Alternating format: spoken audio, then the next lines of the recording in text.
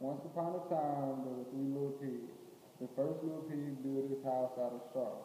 The second little pig built his house out of sticks. The third little pig built his house out of bricks.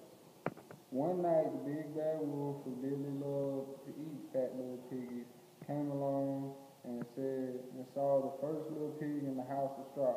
He said, Let me in, let me in, little pig, or I'll huff and puff and blow your house in. But of course, the wolf did blow the house in and ate the little first little pig. The wolf came into the house of sticks. Let me in, let me in, And the little pig, or I'll and puff and blow your house in.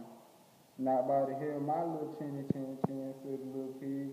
But the wolf blew that house in too and ate the second little pig. The wolf came to the house of bricks. Let me in, let me in, little pig, or I'll huff and puff and blow your house in. Not by the hell, my little chinny chin chin, said the little pig. Well, the wolf huffed and puffed, but he could not blow the brick house down.